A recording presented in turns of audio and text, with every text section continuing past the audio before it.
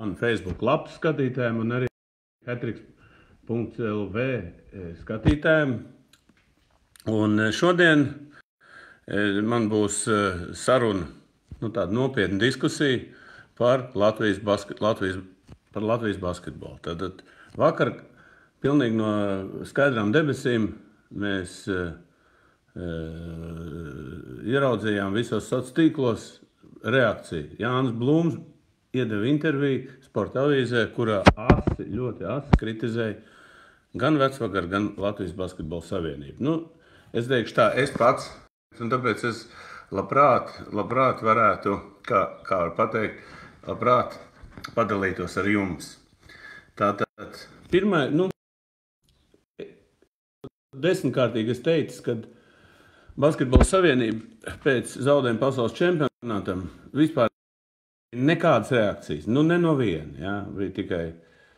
Un tā bija kļūda. Kļūda vajadzēja nākt ar iniciatīvām, nākt pateikt, jā, mēs kļūdījāmies, mums bija tas, tas, tas, tas, tas bet bija tik, tā kā saka, novelt visu, novelt visu vainu no sevīm. Principā. Viss sākās ar to, ka, nu, Varbūt, varbūt tas tā ļoti jocīgi bija ar, ar Kristapu Valteru Lāstu. Ja? Nu, viņš to sākumā, kā saka, to visu uzspēlēja kā teātri, bet tur pēc tam ļoti daudz salika punktus, kāpēc Latvijā nav veiksmes. Ja? Nu, ok, Kristapa Valtera reputāciju mēs zinām, izējot no viņa tur skandāliem un tā tālāk. Līdz ar to tā reakcija nebija tik, nu, viņa bija diezgan maiga, ja, sakot, nu, viņš tāds pats, nu, ko tu tur nav, ko, ko viņi tur ņemsies. Bet Ja komandas kapteinis Jānis Blūms eh, ir, ir, ir to pašu pateicis, un, vēl, un, un viņš ir bijis iekšā, ja Kristaps ir tālu, tālu prom, tad viņš ir iekšā un viss pa, pa plauktiņiem salicis, nu, tad tā problēma tomēr ir. Nu, un tagad, es domāju, ir kā tagad viss basketbola sabiedrība ir bijusi sašūmēta, nu, es gribētu izteikt savu viedokli, ko darīt un kā tālāk. Kāpēc tam nonākuši tādam brīdim? Nu, tagad paskatīsimies, vai Latvijas Basketbola Savienībai ir vajadzīgs reformas. Futbolā domāju, tas nav labi, kaut gan tur opozīcija lamās tos, tos, tos pozīciju un tur vienmēr lamās, bet viņi kaut kā virzās uz priekšu, izējot no tā, ka nu, neļaus. Lai mēs paņemam padomu. Tur padomē Nu, nu, ļoti daudz cilvēku tur nav sakara vairāk ar basketbolu, ne ar politiku. Ja? Tur viņi ir jāmaina. Padomi ir pilnīgi jāiztīra un jāuztais. Nu, nu, normāli, normāli. Es negribu komentēt tos cilvēkus, kas tur ir salikti iekšā. Tas varbūt nebūtu šodien ētiski. Ja? Bet, ja mēs ņemam valdi, Latvijas basketbola valdi, tur nav neviena basketbola. Tur ir airētājs. Tur ir divi politiķi, kas es nezinu, kādu sporta veidu viņi savā dzīvē nodarbojušies. Tur ir moto, autosports Un, tur ir vēl, kas saka, Rīgas satiksmes nu, jau bijušais vadītājs. Ja? Nu, un cil, nu, šie cilvēki lem. Latvijas basket, nu, kas saka, nu, treneru padomu iesaka, bet lem par visām izlasēm, treneriem un tā tālāk.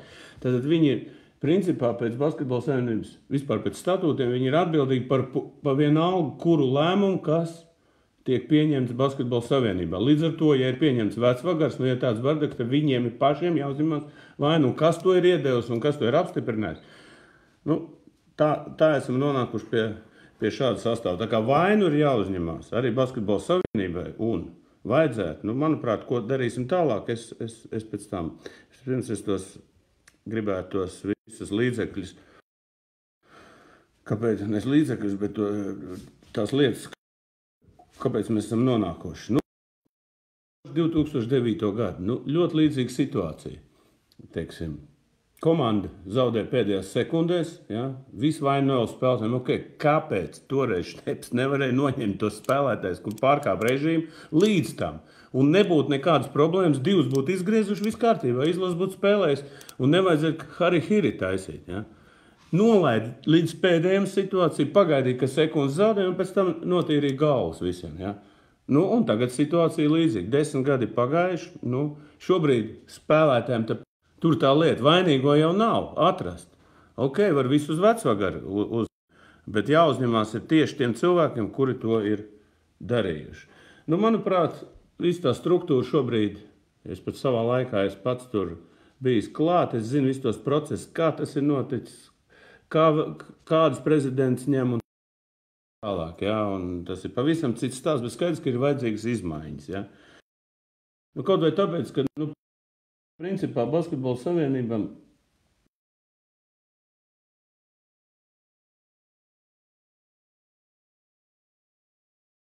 Tagad viņiem nav opozīcija, nav nu, tāda konstruktīva opozīcija, nav palīga, kas varētu strādāt. Ja? Un viss tā struktūra, es domāju, arī ir greiza, tāpēc, ka uz vienu cilvēku var fokusēties viss, un, un mēs redzam, ka kad, basket, nu, kad La Latvijas basketbola izlase ir vajadzīgs savs institūts, ir vajadzīgs savs spēcīgs menedžers, kurš, kurš, kurš iet un runā, un ir vajadzīgi dabiski spēcīgs treneris. Un, un nejaukties visai valdei, tur visiem šiem cilvēkiem un, un, un ģenerālsekretāram. Nu, ko es vēl pateikšu? Kas par šiem 10, 15 gadiem, kad es neesmu bijis pie basketbola, var pateikt godīgi, ja? mēs esam pazaudējuši Lietuvu. Es savā laikā visu izdarīju, lai Lietuva būtu iekšā, jo es uzskatu, ka tas ir ļoti spēcīgs kaimiņš, kurš mā, nu, no kā var mācīties un ar ko vajadzēja iet līdzi. Kāpēc mēs viņus zaudējam? Es nezinu, es tagad negribu, negribu konvencēt. Kādreiz viss balstījās Arī tā VTB līnija balstījās uz to, ka viss PSRS izlases džeks salasījās un teica, vai taisam augšā un visu. Un balstījās. Kā iedeva otrā, tre, trešā, kā saka, ešalona cilvēkiem, kuriem nav saistība.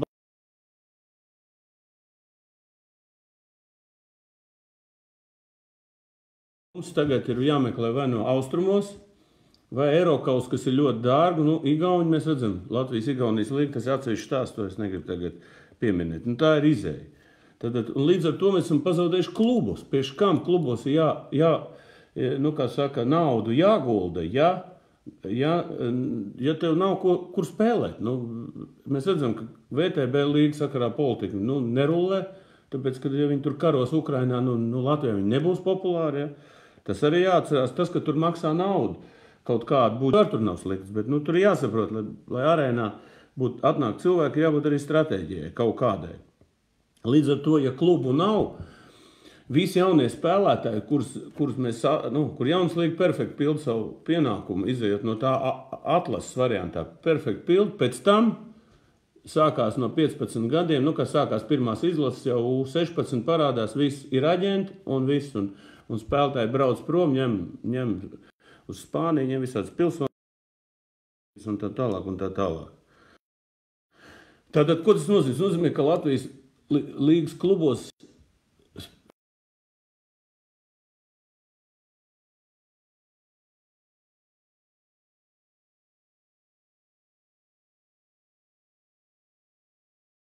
sev. Nu, ir labi piemēri tagad mēs redzam, ka tas pats Porziņš, Žagars un, un Šmits un vēl sazin te vesels bārs cilvēki, kas parāda, ka vajag virzīties savādāk.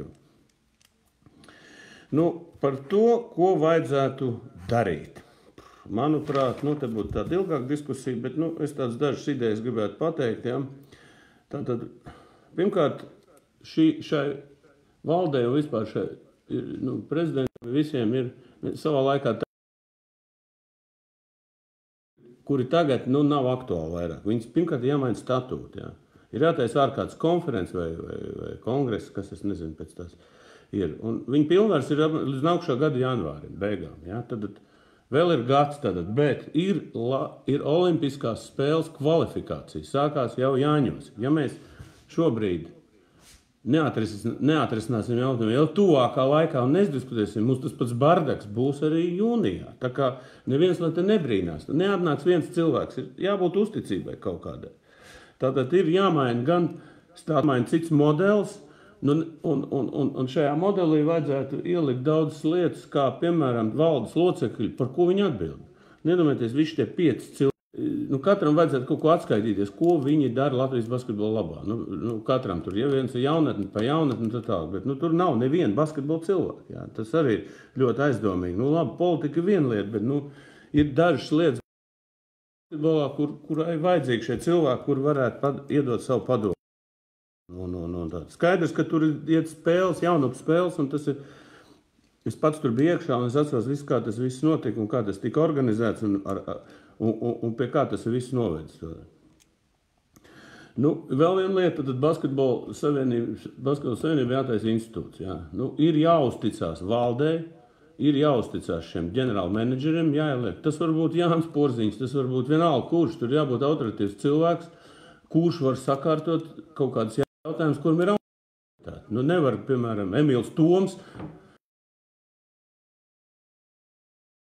Jā, izlas darboties. Tur jābūt jāuzticās cilvēkam, kurš to darīs. Ja? Un, un, un nav ko baidīties. Un arī teiksim, likt cilvēks, kas no basketbola ir tālu, kaut kāds menedžers, kā, kā pieredze kādreiz rādīja pa visu valdi. Ja? Arī, un arī, nu, tas arī bija kļūda iziet no tā un tā tālāk. Tā kā, nu, pie, tā, pie tām lietām ir, ir, ir, ir, ir jāstrādā.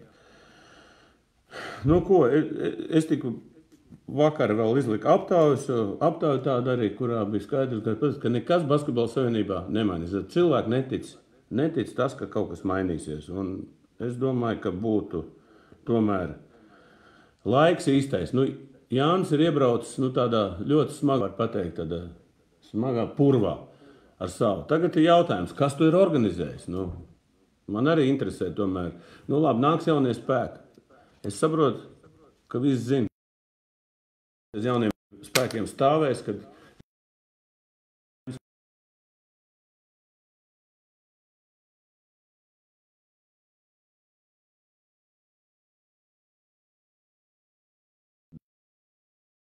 Skaidrs, lai lem konferences, to lai lem konferences, kuram būs labāks programmas, tā kā bija Gorkšam vai vai Ļašenko, bet šeit ir jābūt nu, vienam, otram vai trešam, vai trīs programmas. Un tad lai lem.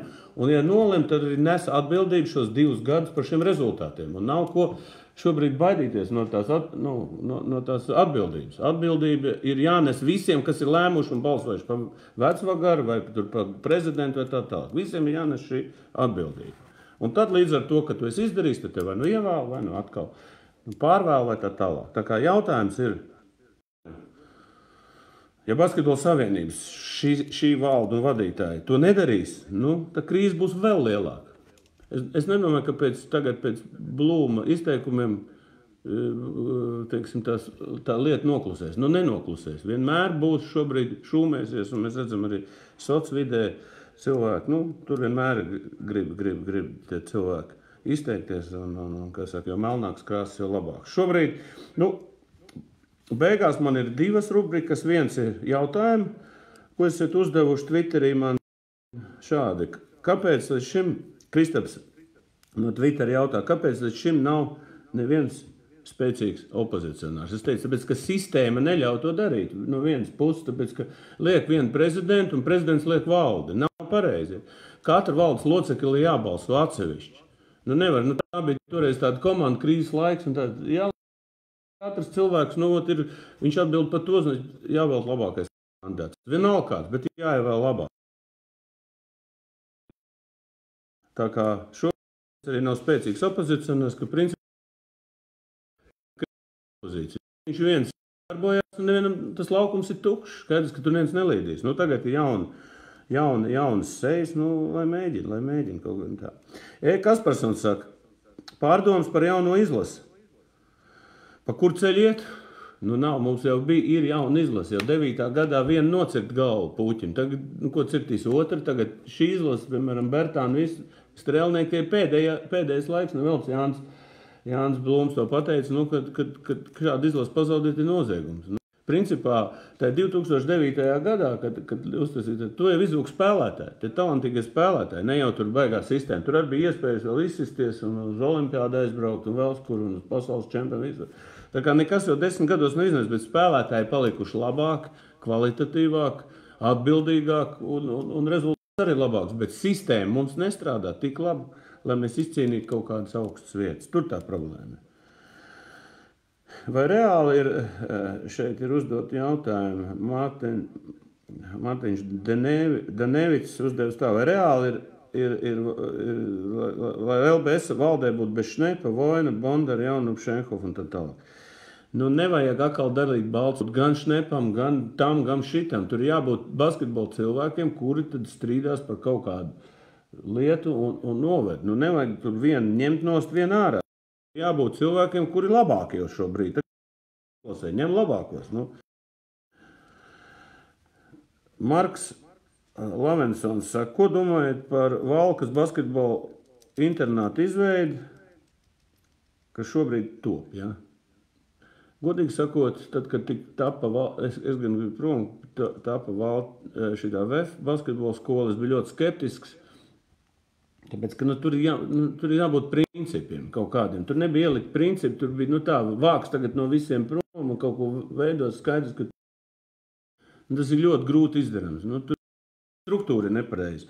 Kas attiecas pa valku, iespējams, uh, internāti ir, ir, ir tie veidojumi, bet tur jābūt arī pašvaldības atbalsts, arī valsts atbalsts. Ir veidojumi, kuri varētu, nu, teiksim, tā reģiona bērns labāk trenēt. Nu, bet tur jābūt labiem treneriem. Kaut gan mūsu treneri aug. Mums tiešām aug treneri, bet kurš ies pat maz aug tur strādāt? Skaidrs, ka visi meklē kaut kādas lielas klubus un tā tālāk. Ideja laba. Jautājums, kas tur strādās un, kā, un kāds būs pašvaldības atbalsts. Un tāds, vai tad, uh, uh, nevar saprast, tu, Labi, tāds, tāds eh, ļoti interesants jautājums. Tad, ja vēl ir jautājumi, viens, viens TV eh, kontā jūs varat uzdot, gan arī, gan arī vēl. Bet nu, es domāju, ka nav. Tad mana, man beigās būtu novēlējums. Novēlējums Basketbola savienībai, visiem, kas ir ap basketbolu cilvēkiem, apvienoties tādā ziņā, kad, kad, kad nu, ir problēmas, vajag risināt viņas, vajag viņas risināt eh, konferencē. Kāpēc klubi iet uz leju? Vai basketbola savienībai ir jāucas pašai kaut kādā veidā un jāstumulē? Palasiet Herberta Vasiljo teiksim, interviju par eh, Vācijas hokeja sistēmu. Tur, tur ļoti spēcīga federācija iejaucās katrā klubā, katrā gadā, kas kam kur jādara noteikumi tā tālāk. Nu, mums ir pēdējais laiks šo lietu kaut kādā veidā labot. Ja nē, mēs ejam, mēs ejam kā saka, uz, uz, uz, uz to, ka visi labie spēlētāji būs prom un Latvijā nebūs kam vairs spēlēt. Un, žēl, žēl, bet nu, vērosim, skatīsimies. Katrā gadījumā es novēlu visiem labs laiks ir, novēlu arī labs laiks basketbolā. Uz redzēšanos un tiksimies jau drīz.